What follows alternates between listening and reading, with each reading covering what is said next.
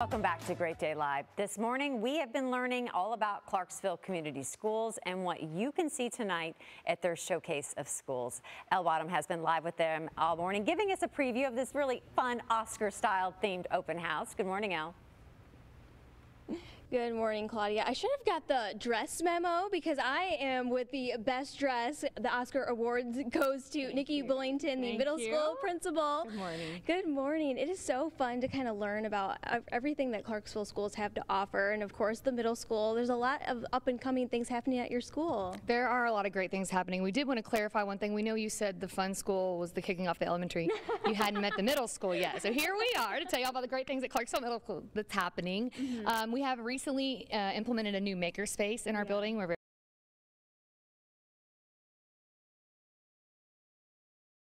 Colleagues have had that across the corporation, and you can kind of see around our campus. It's great, but mm -hmm. the middle school's next. So that's uh, kind of a little tease, little peek. Come in and check us out once we get that all taken care of. Yes, that is so much fun. And you have a silent auction tonight, and we have these amazing chairs that your seventh graders painted. We do. Uh, we had art students um, kind of collected. People gifted us chairs, and they created uh, just different themes. This is our breakfast theme. so we have some eggs and toast and cereal, and we have a donut chair, and so that'll be open for silent auction, and bidding will start at $25. And there's a lot to choose from, a lot of different designs. I'm very proud of our students for yes, doing that. And you chose not to show the one that you are going to that bid on because no one needs to bid that on that one. Correct. I kept that at school, so no one could see how great it was, and then because uh, Dr. B has her eye on it. Yes, and so you also have some other stations around as well. So tell me about what the special ed's doing.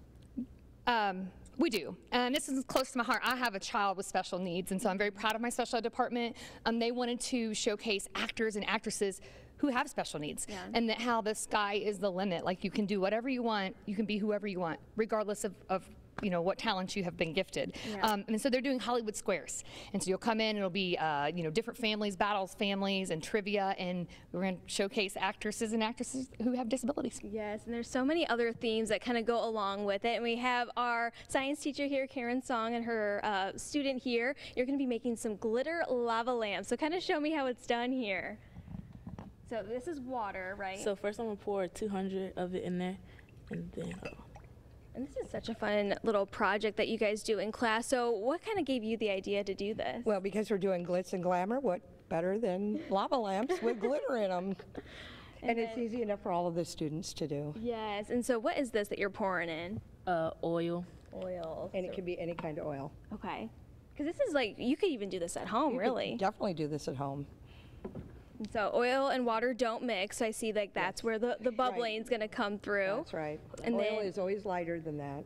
And then we dump in the uh, glow stick so we get some glow in there. Look at those colors.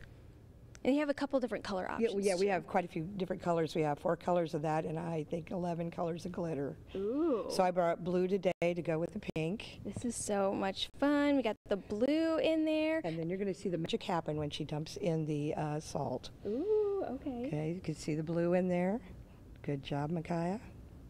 And they, she is also helping me tonight. I have uh, four eighth grade students that always run my labs. All right, get a close up on this. There's the magic. See it coming up? It bubbles up. The glitter will bubble with it. Uh, yeah, it. keep going. Let's hold. To. Let's get some of the glitter up. And, uh, let's get some of this. So this is so much fun. So you're making it in a beaker, but what will the students actually be the making them in? Because they will actually take it home. They will be doing it in a water bottle. We've been collecting and recycling all the water bottles for the last month. Oh my goodness. So yeah, the kids will have fun. They can take it home and add all that they want to it.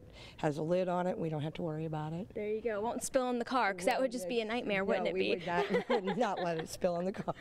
oh, that is so much fun. You're actually getting ready to retire yes, this am. year. I so am. how long have you actually been teaching at I've Clarksville? Been, at Clarksville, I've been eight years, but I've been a school teacher for 24. Wow. And I'm excited. But I am coming back and volunteering. If you look behind us, you can see the innovation lab that we have, mm -hmm. the mm-hmm. makerspace, and I will be in charge of that two days a week. So we'll mm-hmm. have the fifth and sixth graders come in, seventh and eighth graders come in. Yeah. We have 3D printers, we have all kinds of stuff, and that is my jam. I yes. love doing it. So. So you I can't just leave that. I can't leave. I can't leave. Nobody's in charge of it yet, so I will be in charge of it for one year until everybody gets settled. Well, there you go, and you can check it out tonight at the Clarksville Showcase of Schools. It's happening tonight from 6 to 7:30. So coming up next, we're wrapping things up here with the high school, and we're going to preview their spring play. You don't want to miss it. Stay tuned.